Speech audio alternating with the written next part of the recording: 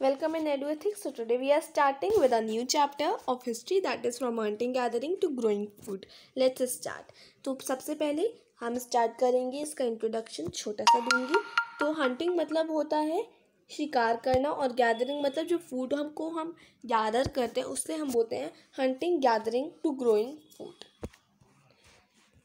basically हम इस chapter में पढ़ेंगे कि जो पहले के लोग थे, उन्होंने क्या क्या खोजें करी अपने लाइवलीहुड को चलाने के लिए उन्होंने फ़ार्मिंग कैसे स्टार्ट करी, फायर का पता उनको कैसे चला, और हम पढ़ेंगे मीसोलिथिक पैलोलिथिक और न्यूलिथिक एजेस हो है एजेस हैं थ्री एजेस हैं न्यूलिथिक पैलोलिथिक और मीसोलिथिक इनके बारे में भी हम पढ़ेंगे।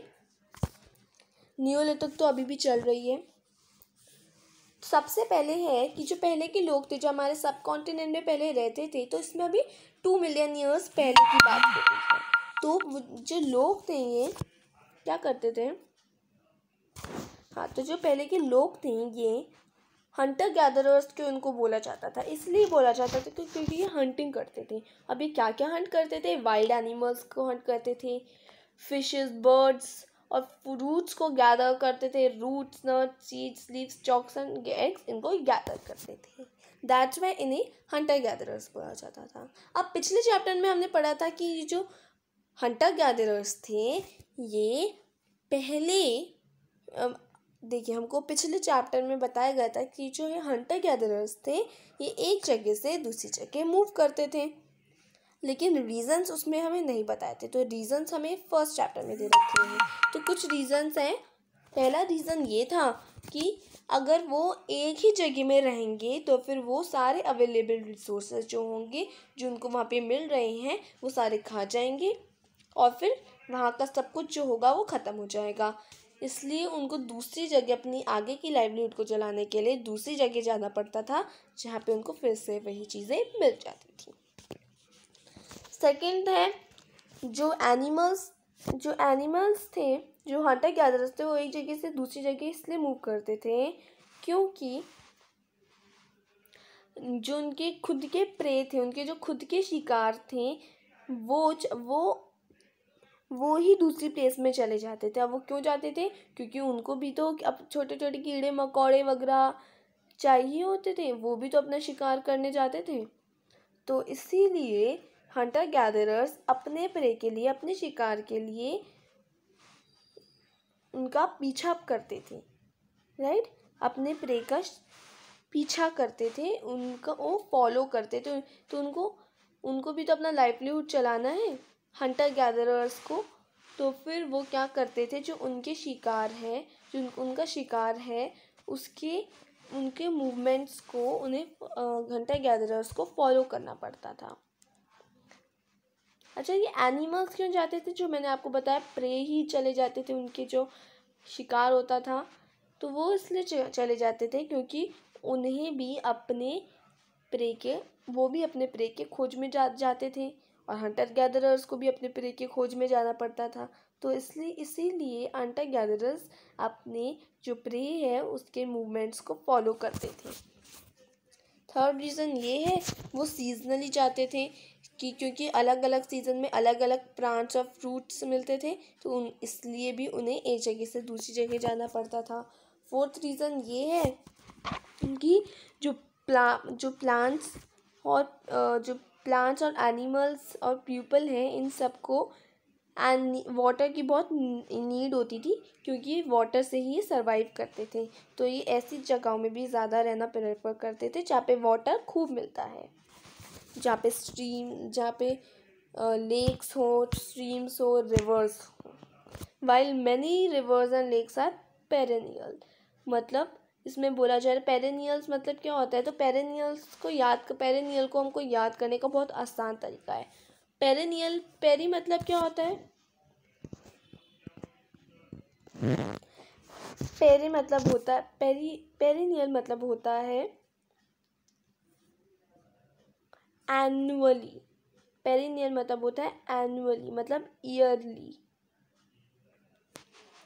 मतलब throughout the year with water throughout the year that is known as perennial अब है others are seasonal some people living on their banks would have had to go in search of water during the dry seasons winter and summer अब next है how do we know about this people तो इन लोगों के बारे में हमें पता कैसे चला तो इन लोगों के बारे में हमें आर्कियोलॉजिस्ट थ्रू थ्रू आर्कियोलॉजिस्ट पता चला कि आज जो आर्कियोलॉजिस्ट हैं, इन्होंने इनकी खोज करी इनकी रिसर्च करी, इनकी पूरी रिसर्च करी हंटर गैदरर्स के बारे में।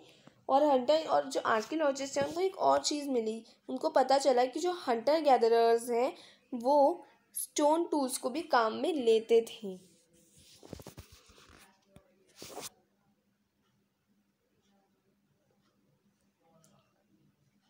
तो जो स्टोन टूल्स हैं हंटर गैदरर स्टोन टूल्स को भी काम में लेते थे।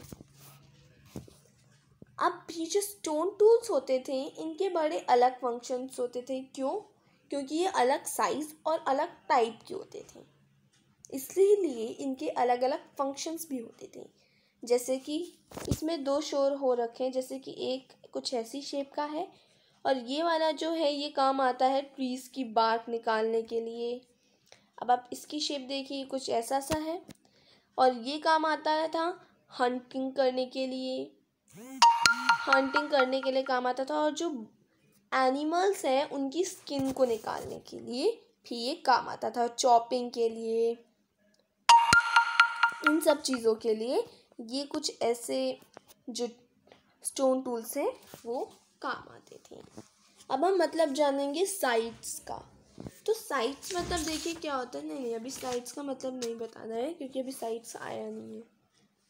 तो अब मुझे बताना है choosing a place to live in तो अब हम देखेंगे choosing a place to live in तो आप इस मैप को देखिए। इस मैप में हमें ये बता रखा है तो इसमें हमको ये बता रखा है कि जो राइट जो कि ट्रायंगल शेप की साइट्स हैं वहाँ पे आर्कियोलॉजिस्ट को सबसे ज़्यादा ऐसे एविडेंस मिले हैं जहाँ पे हंटर गैदरर्स रहते थे। उसके अलावा भी यहाँ पे उसकी वैसे भी इसमें तो मैप में तो काफ़ी कम साइट्स दे रखी है, लेकिन असलियत में जो रिवर है रिवर जो है, उनकी साइड उनके बैंक्स में भी ये हंटर गैदरर्स मिलते थे। तो अब ट्रायंगल देखिए ट्रायंगल में लिखा है पैलोलिथिक साइड राइट तो Kurnool caves Hasangi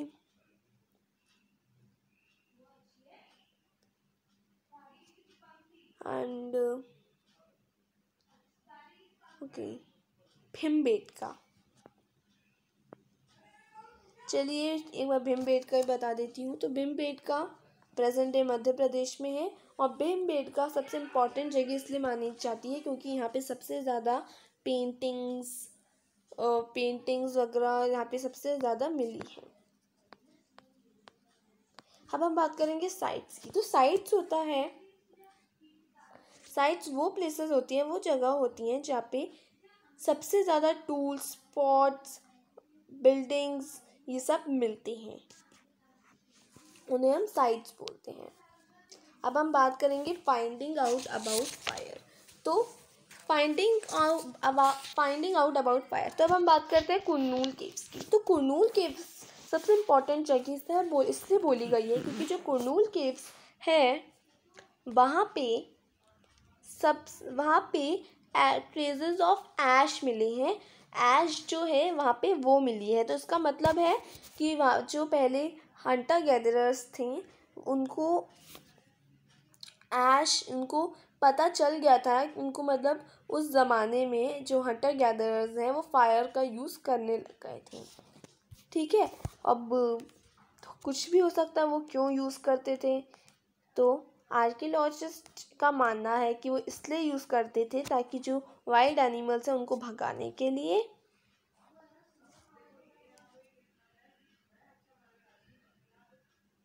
and as a source of light to roast meat और जो खाना वगैरह है इसको पकाने के लिए, मीट को रोस्ट करने के लिए।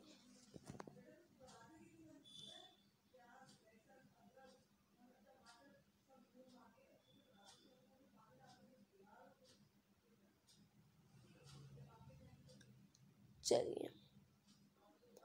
अब ये वाला जो है, ये वाला बहुत इम्पोर्टेंट पार्ट है। तो इसमें हमें बता रखा है Palaeolithic age neolith, Mesolithic age और न्यूलिथिक एज। तो पैलोलिथिक है, एज है ओल्ड स्टोन एज। और ये ओल्ड स्टोन एज कब तक चली?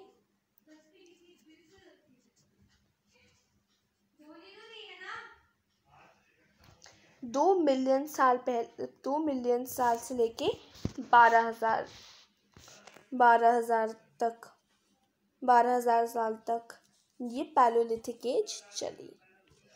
This long span of time covers nineteen हाँ तो मैं पहले तो बता देती हूँ पैलोलिथिक एज मतलब होता है ओल्ड स्टोन एज फिर मीसोलिथिक एज आता है। ये क्या होता है?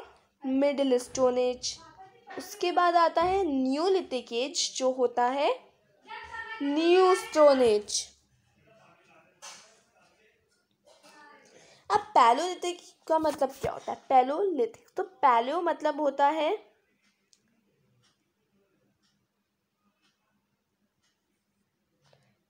ओल्ड। अब लिथिक्स मतलब होता है स्टोन।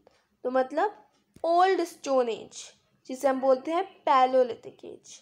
अब मीजोलिथिक का मतलब मिडिल स्टोन एज मतलब middle stone age, Mesolithic age. और Neolithic age, new plus lithic, Neolithic age means new new stone age. और मियोलिथिक और मीसोलिथिक मतलब मिडिल स्टोन एज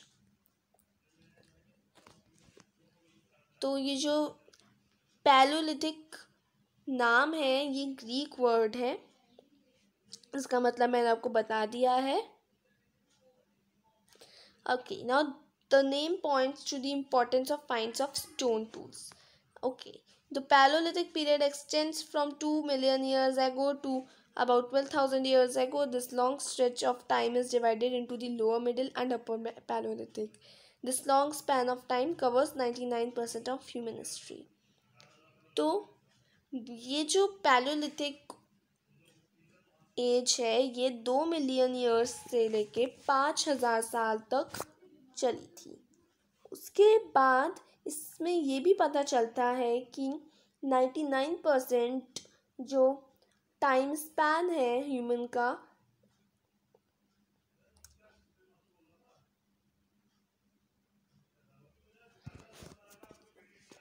तो ninety nine percent human history तो इससे ही हमें पता चल गई कि ninety nine percent human history, इससे ही हमें पता चल गई।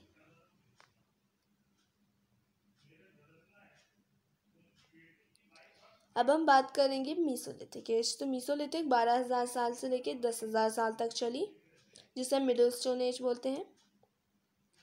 Stone soul stone tools found during the period are generally tiny and are called microlithics इसे माइक्रोलिथिक्स भी कहते हैं। Microlithics are probably stuck on to handles और बोन और wood to make to make tools such as सॉन्स and sickles at the same time older varieties of tools continue to be in use. The next stage तो अब अगली stage I, दस हज़ार साल की, जो थी, जो कि थी न्यू स्टोनेज जैसे हम बोलते हैं Neolithic age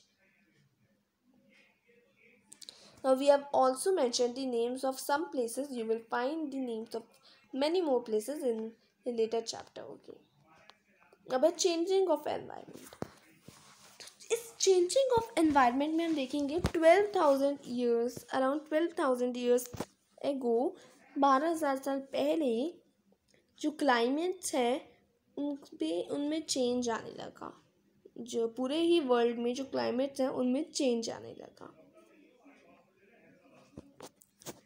फिर क्या हुआ?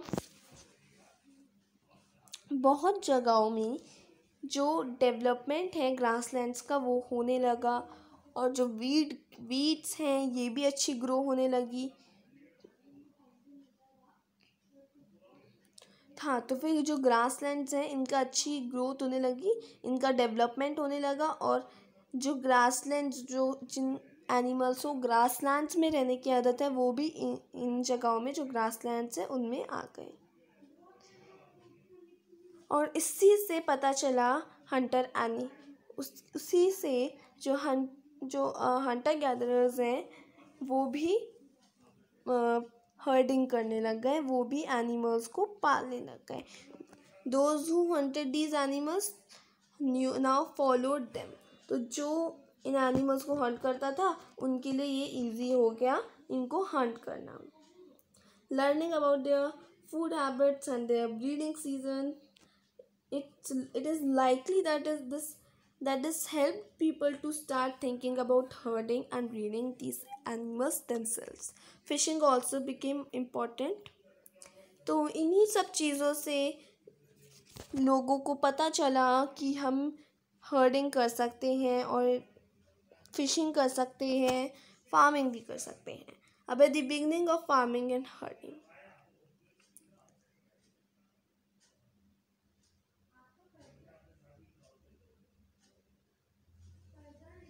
तो फिर क्या हुआ? बिगनिंग ऑफ़ फ़ार्मिंग और हर्डिंग स्टार्ट हुआ। तो बिगनिंग ऑफ़ फ़ार्मिंग कैसे स्टार्ट हुआ? तो जब एनवायरनमेंट में चेंज आया तो फिर जो वीट ग्रेन्स हैं इनका भी अच्छे ग्रोथ होने लग गया। तो फिर ऐसे ही लोगों ने हमारे सब कॉन्टिनेंट में फ़ार्मिंग शुरू किया।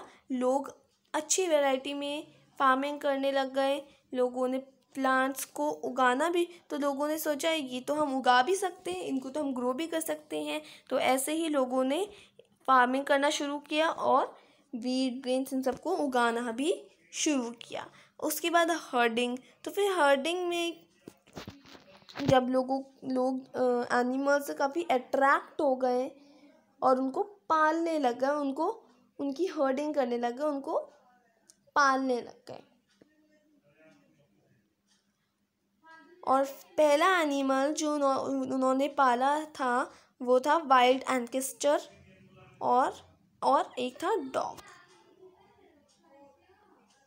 then people later encourage animals that were relatively gentle to come near the camps where the live these animals such as sheep goat cattle and also pig lived in herds तो ये कुछ animals हैं जो कि hertz में रहने लग गए और जो लोग थे वो भी अब इन एनिमल्स से इतना अट्रैक्ट हो गए तो इन इनको हमेशा बचाते थे।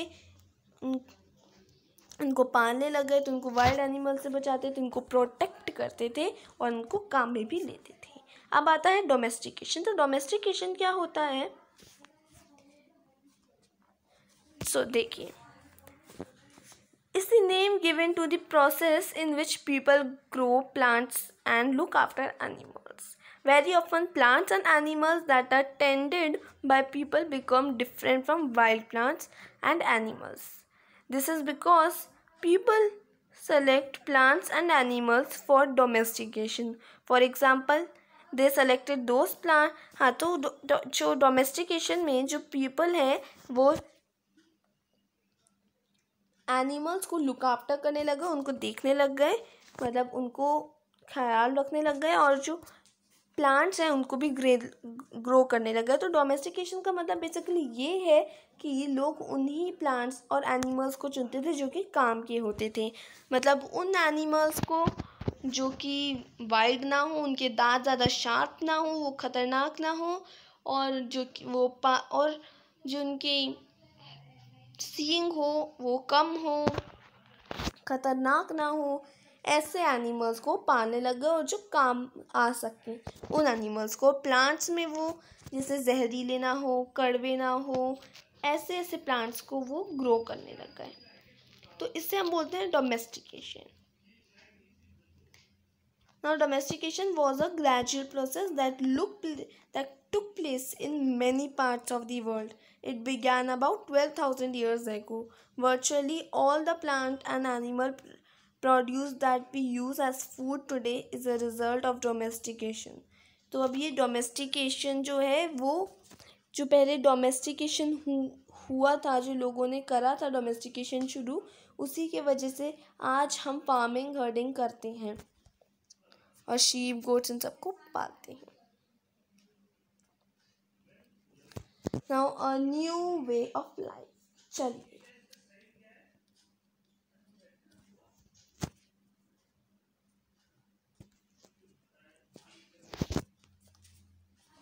तो इसमें हम बात करेंगे न्यूलिथिक एज की। If you plant if you plant a seed you will notice that it takes some time to grow this may be for several days weeks months and in some cases years when people began growing plants it means that they had to stay in the same place for a long time looking after the plants watering weeding अच्छा weeding क्या होता है weeding मतलब होता है unwanted plants को निकालना driving away animals and birds till the grain ripened and then the grain had to be used carefully. As grain had to be stored for both food and seed, people had to think of ways of storing it. अब लोगों ने क्या सोचा कि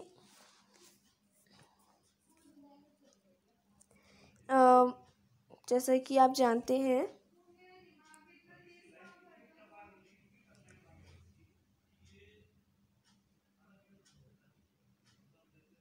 लोगों को weeding लोगों को वीडिंग करना था वाटरिंग करनी थी।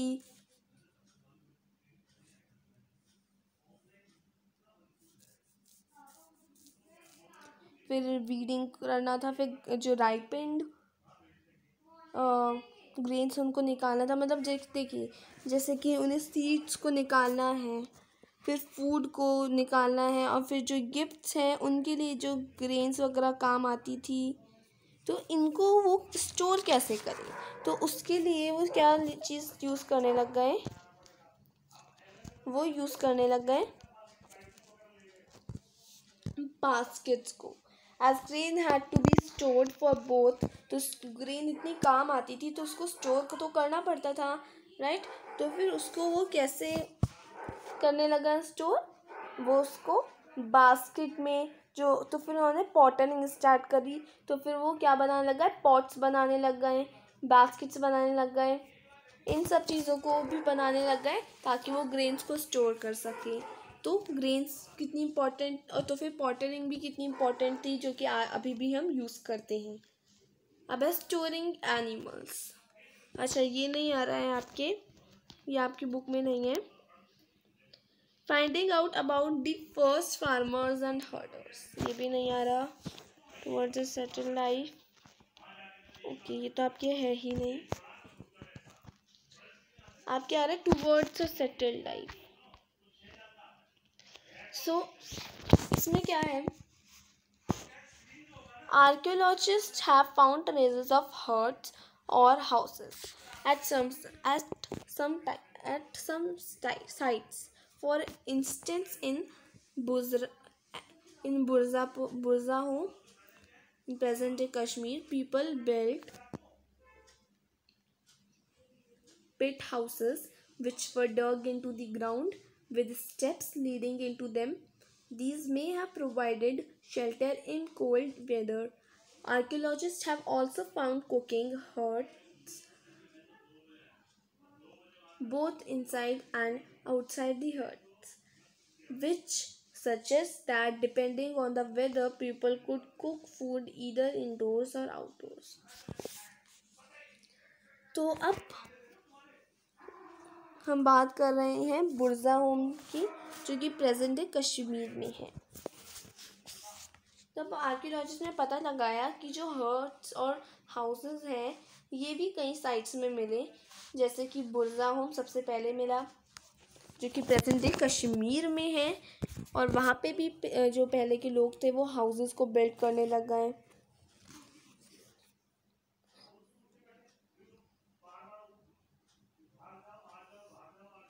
तो इनसे पता चलता है कि ठंड में वो क्या करते थे? ठंड में वो शेल्टर के अंदर रहते थे। और आर्कियोलॉजिस्ट में ये भी पता लगाया कि वो खाना भी पकाते थे वो भी हर्ट्स के अंदर पकाते थे और कई बार बाहर भी पकाते थे। और उनको अंगीठी का पता भी चल गया था। तो हर्ट्स मतलब होता है अंगीठी। तो वो अंगीठी मतलब जो अंगीठी है उसका भी निर्माण हो गया था उस समय। तो अंगीठी को बाहर भी चलाते थे, अंदर भी चलाते थे हट के। राइट? ठंड में। और ये भी पता चल गया था कि वो उससे खाना जो है वो भी कुक करते थे इधर इंडोर और आउटडोर अब है draw a pit house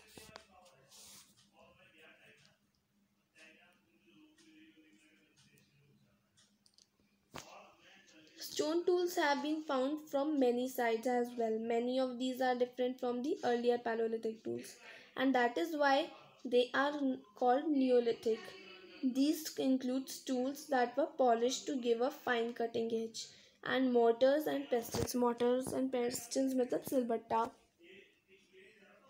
used for grinding grain and other plant produce. Mortars and pestles are used for grinding grain even today, several thousand years later. At the same time, tools of the Paleolithic types continue to be made and used. And remember, some tools were made of bone. Many kinds of earthen pots have also been found. These were sometimes decorated and were used for storing things. People began using pots for cooking food.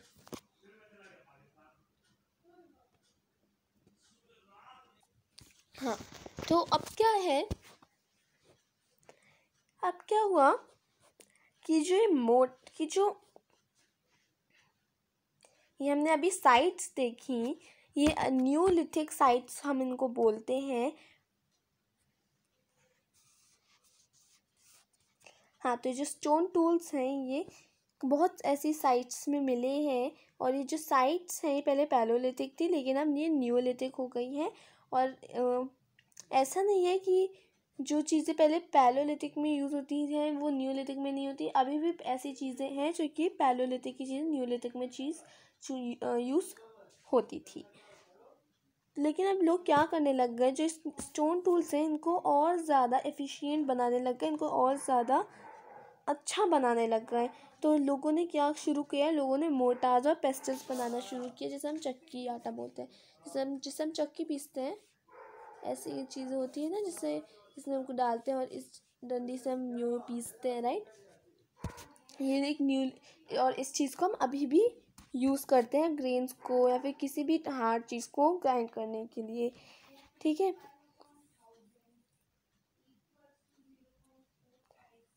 और कुछ चीज़ें bone से भी बनाई जाती थी palaeolithic age में। अब हम बात करते हैं earthen many kind of earthen pots now many kinds of earthen pots have also been found these are sometimes decorated uh, and were used for storing things. People began using pots for cooking food especially grains like rice wheat तब क्या होने लग गया? जो pots हैं ये पहले तो हमने देखा था पॉट्स बनाने लग गए थे लोग पॉटरिंग करने लग गए थे। लेकिन अब क्या होने लग गया न्यू न्यूलिथिक एज में? जो पॉट्स हैं उनको डिज़ाइन करने लग गया और उनको डेकोरेशन डेकोरेश डेकोरेट करने लग गए उनको। और उसमें जैसे कि राइस ग्रेन्स और कुकिंग में, इन सब चीज़ों में भी उससे काम लेने लग गए, काम में लेने लग गए। अब बात आती है कि क्या जो पहले के लोग थे मतलब पहले क्या सारी जगहों में इतना ज़्यादा डेवलपमेंट हो गया था? नहीं। ऐसा नहीं है। पह, सारी जगहों में इतना ज़्यादा डेवलपमेंट नहीं हुआ था। अभी भी कुछ ऐसी जगह जगह थी जहाँ पे वो एडॉप्शन हो रहा था, वो डेवलपमेंट हो रहा था। तो ये था हमारा पूरा चैप्टर एल्सवेयर की पढ़ने की ज़रूरत नहीं है। आई होप आपको ये समझ में आ गया होगा। वेरी इजी चैप्टर और हमने एक ही वीडियो में से कंप्लीट कर लिया है। मुझे यकीन है कि आपको इस चैप्टर में मज़ा आया होगा। और इस पूरे थर्टी मिनट्स में हमने जो भी पढ़ा from hunting gathering to growing food के बारे में, आपको सब कुछ समझ में आ गया होगा। और मुझे लगता है थर्टी मिनट ज़्यादा नहीं है, आधा घंटा लिया मैंने आपका। तो ज़्यादा टाइम नहीं लिया है, क्योंकि बहुत सिंपल सा चैप्टर है ये। वरना तो फोर्टी फोर्टी टू मिनट्स लग जाते हैं बड़े चैप्टर में। और आई होप आपको मज़ा आया होगा इस चैप्टर को पढ़ के। तो हमने पढ़ा from hunting gathering to growing food और अगले वीडियो में हम इसके क्वेश्चन आंसर्स को लेके आएँगे और कुछ अच्छी अच्छी इसकी एक्सरसाइजेस को लेके आएँगे। And thank you for watching this video कुछ एक्स्ट्रा क्वेश्चन एंड क्विजेस से भी। Thank you